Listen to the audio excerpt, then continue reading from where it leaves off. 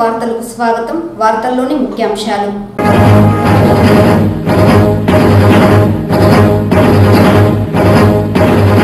సంక్రాంతి పండుగను చిత్తూరు నియోజకవర్గంలో ప్రజలు ఆనందంగా జరుపుకోవాలన్న ఆకాంక్షతో నగరంలో నలభై రెండు వేల మంది నిరుపేదలకు సంక్రాంతి కానుక టీడీపీ ఆధ్వర్యంలో అందజేస్తున్నాం. తెలుగుదేశం పార్టీ నాయకులు గురుజాల జగన్మోహన్.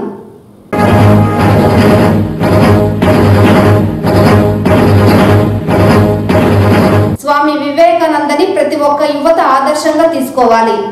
జిల్లా కలెక్టర్ షణ్మోహన్.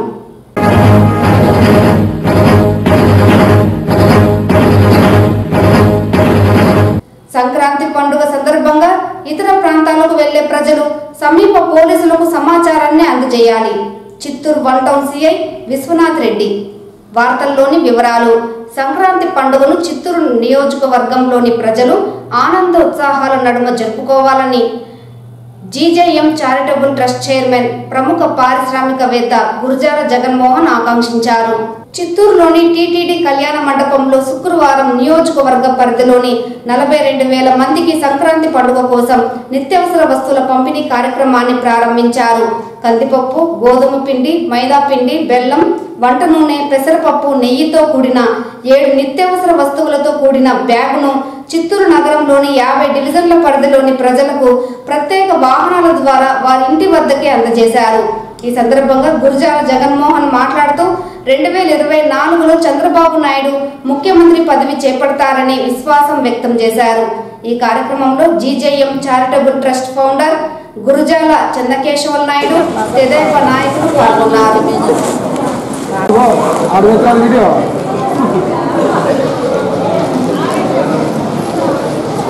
ఏమన్నా రాంది తీసి సార్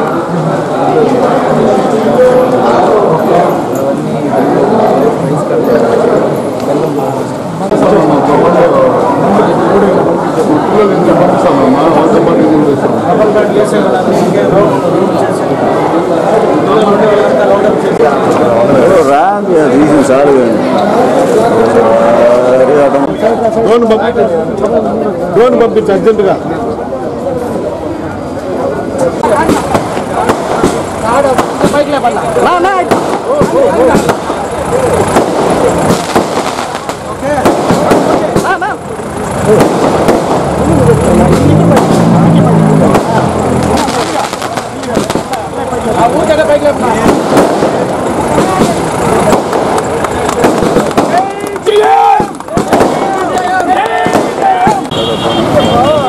ఆయన సురేష్ అన్న యాడికి ఒప్పుకుంటున్నానంట నేను బయటే ఉన్నాను కదా నా యాడికి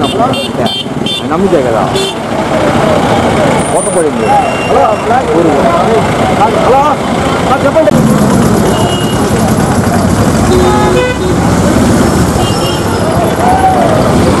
కొత్త పడింది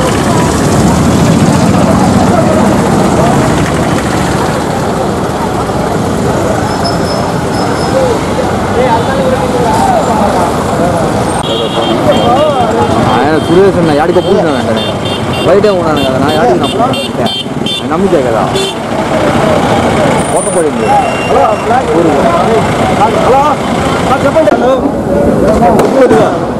ఈరోజు తెలుగు రాష్ట్ర ప్రజలకి చిత్తూరు నియోజకవర్గ ప్రజలకు తెలుగుదేశం నాయకులకి కార్యకర్తలకి అందరికీ భోగి సంక్రాంతి మరియు కనుమ శుభాకాంక్షలు.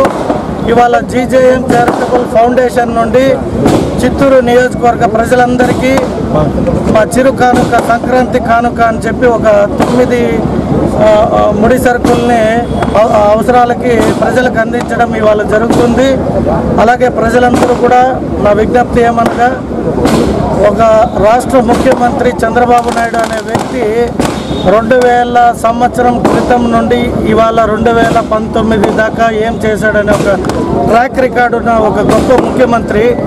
తిరిగి రెండు వేల ఇరవై నాలుగు ఏప్రిల్ ఇరవైన ఆయన పుట్టినరోజు సందర్భంగా ఈ రాష్ట్రానికి ఆయన ముఖ్యమంత్రి కావాలని ఒక రాష్ట్ర ప్రజలందరికీ ఒక విజ్ఞప్తి ఏమనగా తిరిగి ఆంధ్ర రాష్ట్రం బాగుపడాలంటే నారా చంద్రబాబు నాయుడు గారు రావాలి.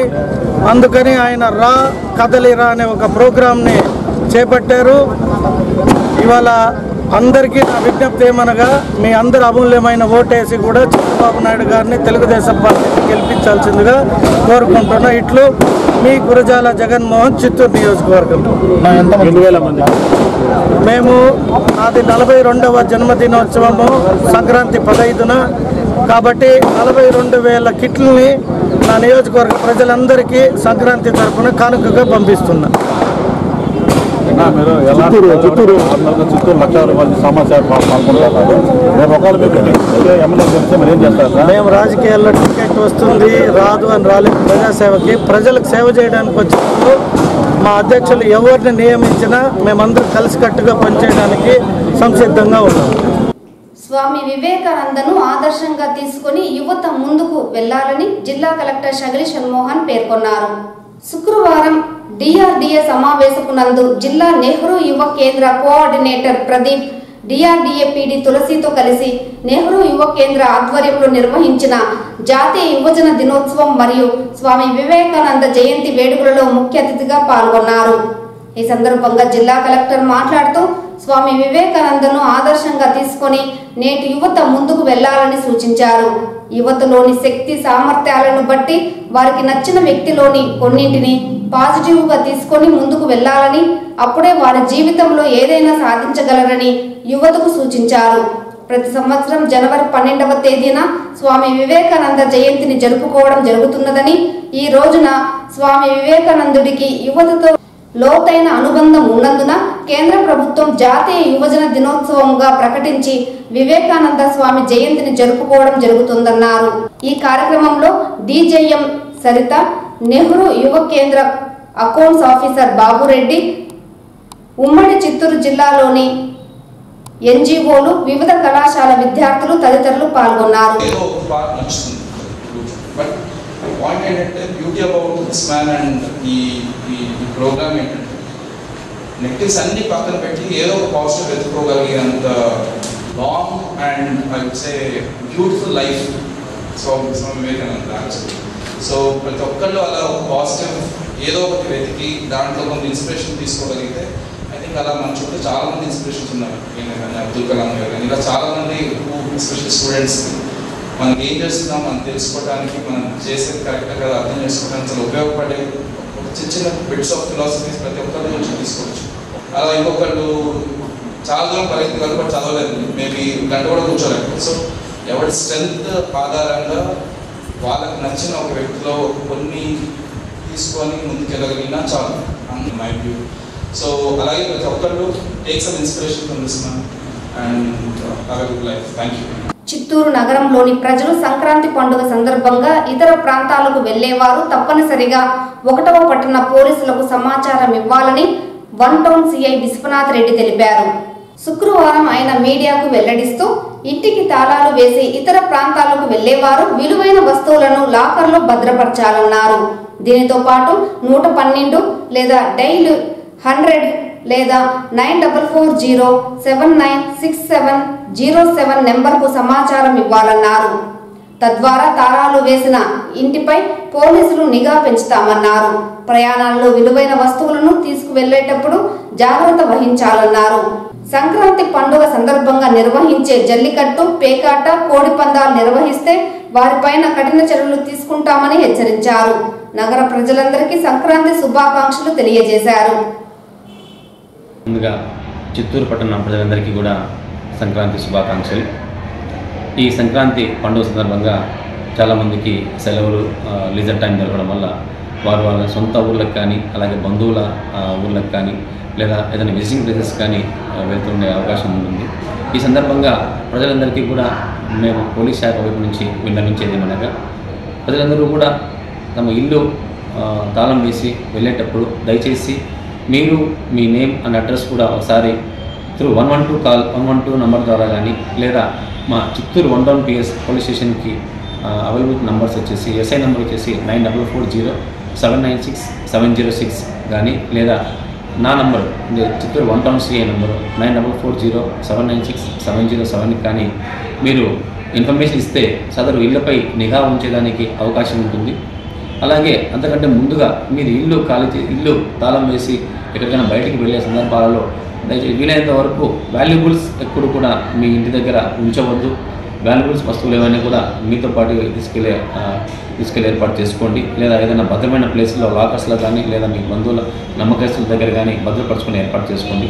అలాగే ఏదైనా వాల్యుబుల్ వస్తువులు కూడా క్యారీ చేసేటప్పుడు కూడా మీ ప్రయాణాల్లో ఈ పండుగ సందర్భంగా బస్సుల్లోనూ రైళ్ళలోనూ విపరీతమైన రద్దీ ఉండే అవకాశం ఉంది. ఈ రద్దీలో బ్యాగ్ లిఫ్టింగ్ కానీ ఈ జోబు దొంగతనాలు కానీ కూడా జరిగే అవకాశం ఉంది కాబట్టి మీరు ఈ వాల్యుబుల్స్ క్యారీ చేసేటప్పుడు కూడా బస్ స్టాండ్లో రైల్వే స్టేషన్లో ఉన్నప్పుడు మీ పక్కన ఉన్న వారితో జాగ్రత్తగా ఉంటూ మీ విలువైన వస్తువులను మీరు- మీరు జాగ్రత్తగా తీసుకొని క్యారీ చేసుకొని ప్రయాణం కొనసాగించవలసిందిగా విన్నవించుకుంటూ ఉన్నాము.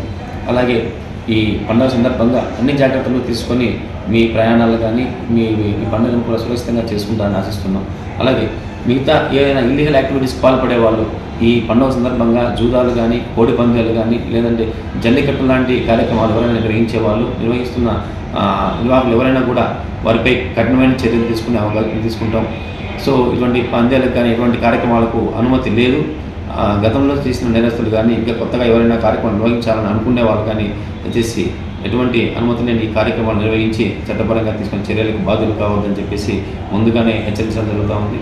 సో అందరికీ ఈ పండుగ శుభాకాంక్షలు తెలియజేసుకుంటూ మీరు సురక్షితంగా ఉండడానికి మీకు తగిన రక్షణ కల్పించడానికి మాకు సహకరిస్తారని చెప్పేసి కోరుతున్నాం. థ్యాంక్ అంగన్వాడీ వర్కర్లకు జీతాలు పెంచకపోతే జగన్మోహన్ రెడ్డి ప్రభుత్వం మరో ఉద్యమాన్ని రుచి చూస్తారని సిఐటియు ఏఐటియుసి ఐఎఫ్టియు హెచ్చరికలు జారీ చేశారు. రాష్ట్ర వ్యాప్తంగా అంగన్వాడీ వర్కర్ల హెల్పర్ల న్యాయమైన డిమాండ్ల కోసం జిల్లా కలెక్టర్ కార్యాలయం ముందు చేస్తున్న నిరోధక సమ్మె దీక్ష ముప్పై రెండవ రోజుకు చేరుకున్న విషయం తెలిసిందే.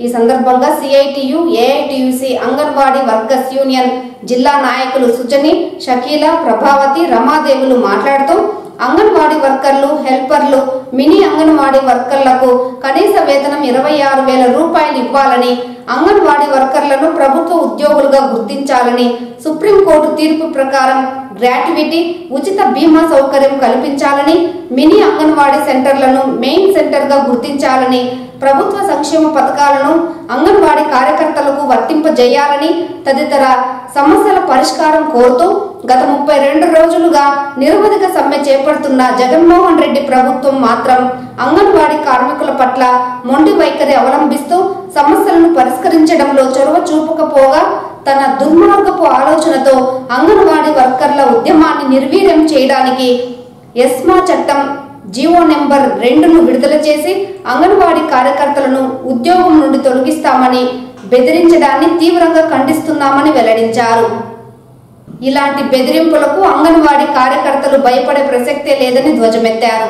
ఈ కార్యక్రమంలో అధిక సంఖ్యలో అంగన్వాడీ వర్కర్లు కార్యకర్తలు కమ్యూనిస్టు పార్టీ నేతలు తదితరులు పాల్గొన్నారు ఈ రోజు రాష్ట్ర వ్యాప్తంగా ముప్పై రెండో రోజు ఈ సమ్మె కొనసాగిస్తున్నాము ఈ రోజు మేమేమడుగుతున్నాము కనీస వేతనాలు ఇవ్వాలి గ్రాడ్యుయేట్ అమలు చేయాలి మినీలు మెయిన్ చేయాలి మెయిన్ డిమాండ్ పైన మేము ఈ ముప్పై రెండు రోజులుగా సమ్మె చేయడం జరిగింది ఈ సమ్మెని ఈ చ- పిలిపించి ఈ రోజు మూడు గంటలకి సాల్వ్ చేస్తామని మినిస్టర్లతో చర్చలున్నాయి. రాష్ట్ర నాయకత్వం వెళ్ళి అక్కడ పాల్గొంటుంది. అందరి సమస్యలు పరిష్కరించాలని ఈ సభాముఖంగా చెప్పారు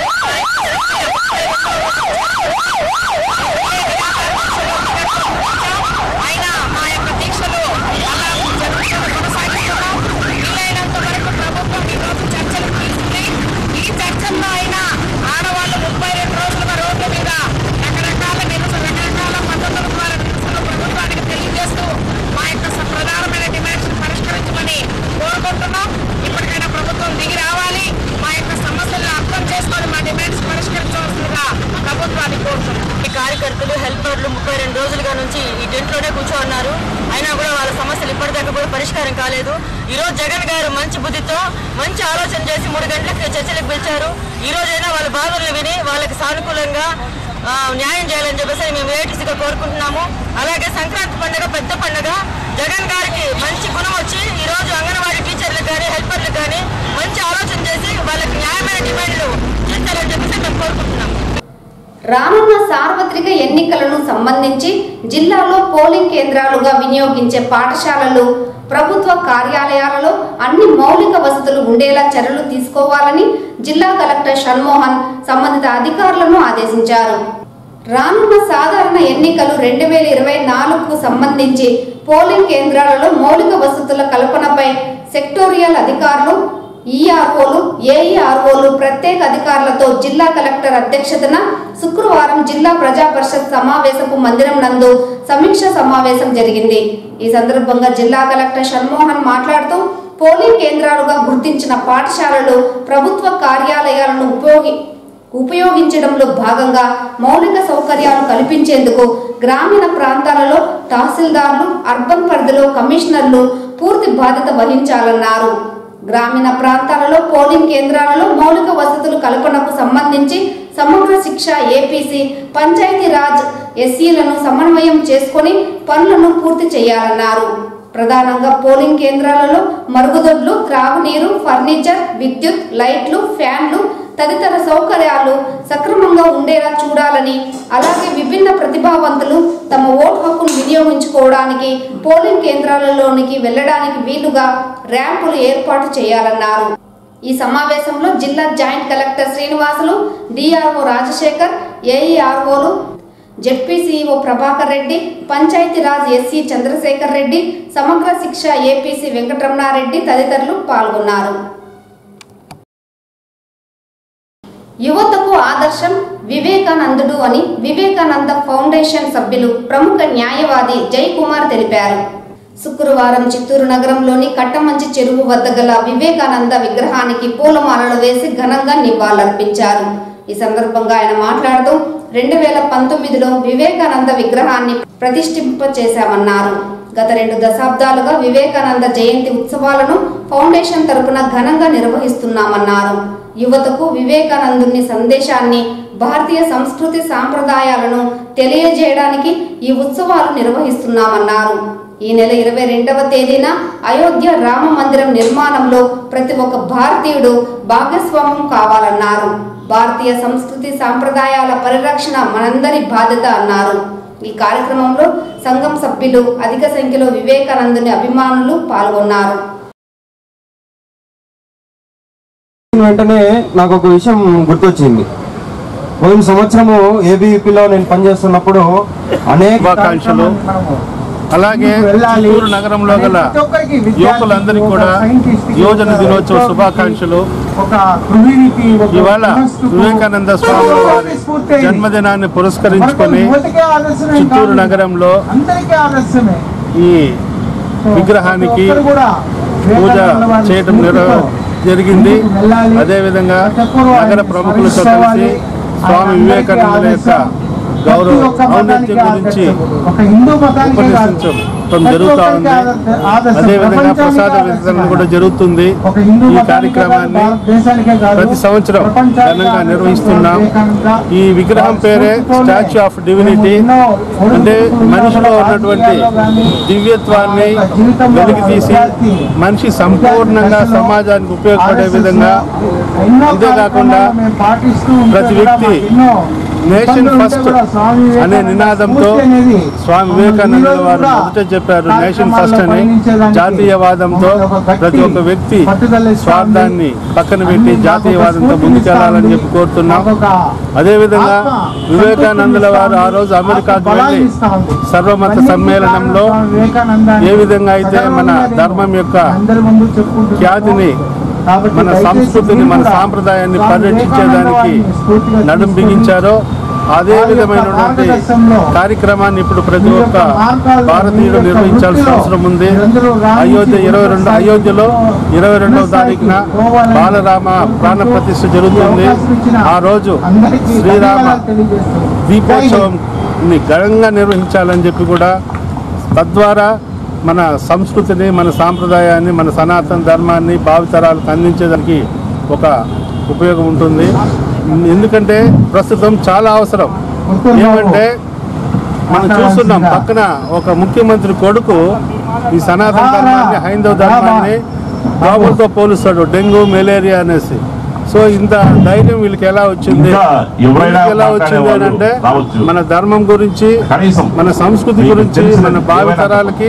కనీసం మన పాలకులు వారిని వీరికే తెలియదు ప్రస్తుత ఆంధ్రప్రదేశ్ రాష్ట్రంలో తాజా రాజకీయ పరిస్థితులు చూస్తుంటే సిగ్గేస్తోందని మాజీ టీటీడీ బోర్డు సభ్యులు టీడీపీ నేత ఓవి రమణ ఆగ్రహం వ్యక్తం చేశారు ఈ సందర్భంగా ఏర్పాటు చేసిన మీడియా సమావేశంలో ఆయన మాట్లాడుతూ రాష్ట్ర ముఖ్యమంత్రి వైఎస్ జగన్మోహన్ రెడ్డి కాపు బలిజులపై సవతి తల్లి ప్రేమ చూపిస్తున్నారని రాయలసీమతో పాటు నెల్లూరు జిల్లాలలో బలుజులను రాజకీయంగా పాతాళానికి నెట్టారని తెలిపారు.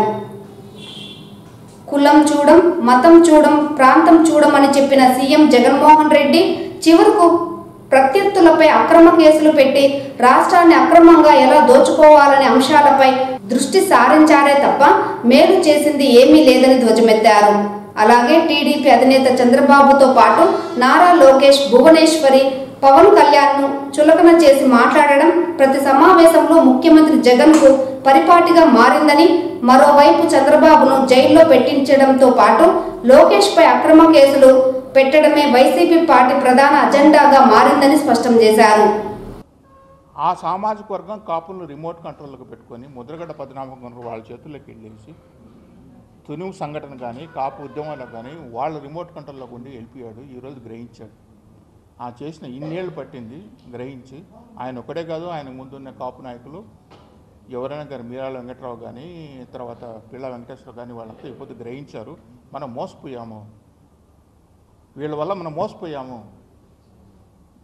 అనందములు లాంటి మనం అందరం అందరి మధ్య చర్చలు పెట్టి బలి ఇట్లా బలిజలకు కాపులకు మూనూరు కాపులకు రకరకాల తెల్లగా ఒంటరి ఎన్ని చర్చలు పెట్టామో తెలుసుకున్నారు కాబట్టి ఈరోజు కాపు జాతికి మేము అంతా ఉండాలని చెప్పి అనుకున్నారు కాబట్టి మేము ఈరోజు అరెస్ట్ చేస్తాము ఉంటాయి దుష్టశక్తులు కొన్ని ఉంటాయి మొదలు చీల్చడానికి ప్రయత్నాలు చేస్తాయి. ఆ దుష్ట శక్తుల పనే అదే. దుష్ట శక్తుల పనే అదే. అన్నదమ్ములు జీలుస్తారు ఆయన అంటాడు కదా ఆయన మొన్న ఒక మాట మాట్లాడాడు కదా కుటుంబాలను జీలుస్తాడు. ఎవరు జీల్చాడు బాబు? నీ కుటుంబాన్ని జీల్చేంత శక్తి వస్తుంది మీ కుటుంబమే చేరిపోతుంది కుటుంబాన్ని చీల్చింది మీరు. ఈరోజు కుటుంబాన్ని చీల్చిన అన్నదమ్ముల మధ్య కలిసి ఉన్న అన్నదమ్ములు కొన్ని దశాబ్దాలను కేసీని నాని తీసుకొచ్చి పక్కనేసి కండువా వేసుకుని చీల్చిన మీరు కదా కేసినానికి రాజకీయ కేసినాని నాని అనే వ్యక్తికి రాజకీయ భిక్ష పెట్టి రాజకీయం అంటే నేర్పించిన తెలుగుదేశం పార్టీ కాదా చిచ్చు పెట్టేది మీరు కదా? మీరు మాట్లాడతారు మళ్ళీ కులం చూడం మఠం చూడం అని చెప్పేసి. మీరు అందరి మధ్యలో చిచ్చు పెట్టేదానికి మీరు తయారైపోయి మీరు మీకు చిచ్చు పెట్టే వాళ్ళు ఎవరు ఉన్నారు? మీకు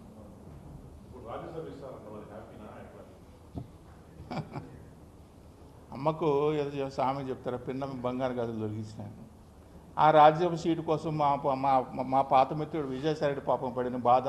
చివరికి హైకోర్టులో నేను ఆస్ట్రేలియాకి వెళ్ళి వ్యవసాయం చేసుకుంటాను అని చెప్పి పరిస్థితి తీసుకొస్తే చివరికి రాజ్యసభ ఎట్లా వచ్చిందో తెలుసు. వైవి సుబ్బారెడ్డి గారికి రెండుసార్లు రాజ్యసభ పదవి ఇస్తానని చెప్పి ఈ విధంగా చూసాం. ఎంతమందికి షర్మిలా గారికి రాజ్యసభ సభ కోసమే కదా ఇప్పుడు ఆమె ఆ స్టేట్కి ఈ స్టేట్కి వదిలిన బాణం అనే ఆ బాణం తిరిగి తిరిగి తిరిగి మళ్ళీ విజయవాడకి చేరింది. ఆ రాజ్యసభ సీటు కోసమే కదా. మరి జంగాలపల్లి శ్రీనివాసుకి రాజ్యసభ సీటు ఇస్తామని చెప్పంటే మనం ఏమనుకోలేము. వాళ్ళ వియంకుడికే ఉమారెడ్డి వెంకటేశ్వర గారికి. ఉమారెడ్డి వెంకటేశ్వర్లు వాళ్ళకు మనవరాల్ని ఈయన కొడుకు చేసుకున్నాడు కదా. ఉమారెడ్డి వెంకటేశ్వర దేవగౌడ ప్రభుత్వంలో ఈయన అగ్రికల్చర్ మినిస్టర్ స్పా పార్టీకి వైస్ ప్రెసిడెంట్ పార్టీ తీసుకున్నప్పుడు అన్నా నువ్వు నా పక్కనే ఉంటావన్నా నీకు రాజ్యసభ సీటుకి పంపిస్తాను. కేంద్ర మంత్రిగా పనిచేస్తాను. ఒక ఎమ్మెల్సీ సీట్ అది భరేసి ఇచ్చినాడు. ఆయనకి ఏ దిక్కు లేదు. మరి జంగాలపల్లి శ్రీనివాసుకు రాజ్యసభ సీట్ ఇస్తానని మురిసిపోతే మనం ఏం చేయలేము. ఉన్న వికెట్ కొట్టేయాలనుకున్నాడు. ఒకటే ఒక సీట్ ఉన్నది. అది ఇంకా రా ఈ బలిజ జాతికి అనేది రాజకీయంగా బా- ఇది ఉండకూడదు అనుకున్నట్టు చేశాడు. సక్సెస్ఫుల్గా లాంచ్ చేశాడు అయిపోయింది అది. ఉండేది ఒకటే ఒకటి అనుకుంటాను అది కూడా పోయింది అది.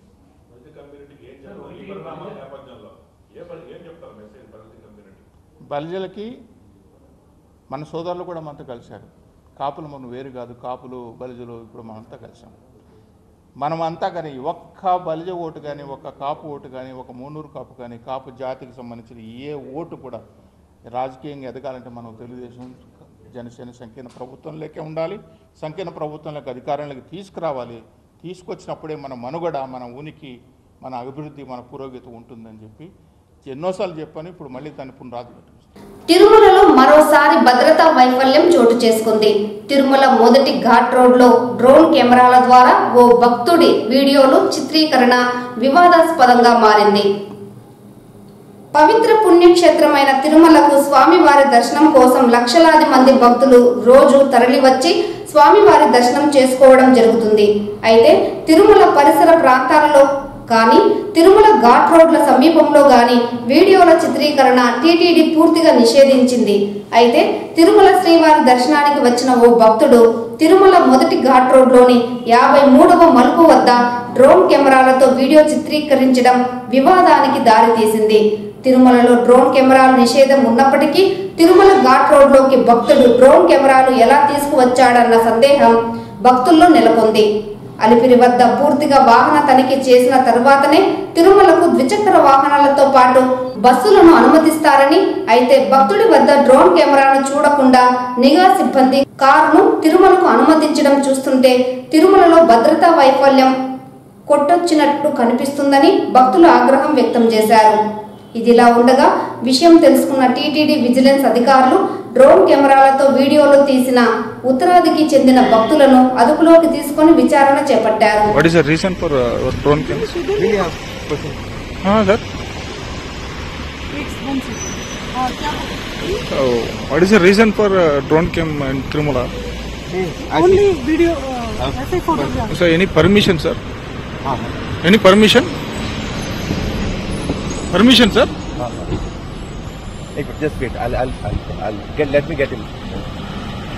Tirumala శ్రీవారిని ఈరోజు ఉదయం విఐపి విరామ సమయంలో పలువురు ప్రముఖులు దర్శించుకున్నారు.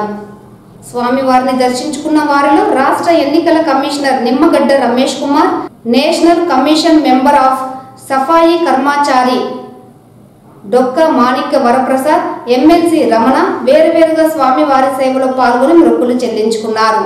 శ్రీవారి దర్శనార్థం తిరుమలకు విచ్చేసిన వీరికి ఆలయ అధికారులు స్వాగతం పలికి దర్శన ఏర్పాట్లు చేశారు. అనంతరం రంగనాథ మండపంలో వేద పండితులు వేద ఆశీర్వచనం చేసి స్వామివారి తీర్థ ప్రసాదాలను అందజేశారు.